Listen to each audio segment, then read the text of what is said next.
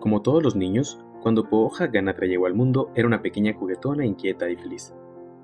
Sin embargo, existía algo que la hacía resaltar entre la gente su natal Bombay, en la India, y es que sus ojos verdes, piel clara y cabello rojo la convertían en alguien realmente diferente.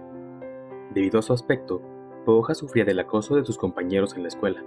La hacían llorar todos los días. Se sentía diferente y no se atrevía a jugar con los demás niños. La extrañeza de su apariencia hacía que las personas de su propia ciudad la detuvieran por la calle y le pidieran fotografiarse con ellos.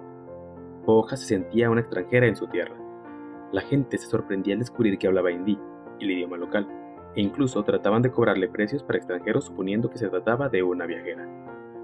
Conforme pasó el tiempo, su situación fue empeorando. Cada día la tristeza se acrecentaba en su interior, su autoestima estaba por los suelos y no lograba ver su propia belleza. Sin embargo, un día todo cambió y juntó el coraje para lograr aceptarse a sí misma, no importándole las opiniones de otras personas. Decidió dejar su país para recorrer el mundo. En la página de Facebook Humans of Bombay, Poja escribe: Poco a poco comencé a ver que era un regalo en no ser como los demás. Nadie se podía olvidar de mí. Estoy muy orgullosa, me siento bien conmigo misma y no permito que nadie me hunda. Me quiero y me enfrento con una enorme sonrisa a los que se quedan mirándome. No me preocupo de las opiniones de la gente por mi aspecto. Estoy llena de amor para mí misma, así que no tengo tiempo para ellos. Son nuestras particularidades las que nos diferencian de los demás, y es este abanico de personalidades y apariencias las que enriquecen tanto nuestro mundo.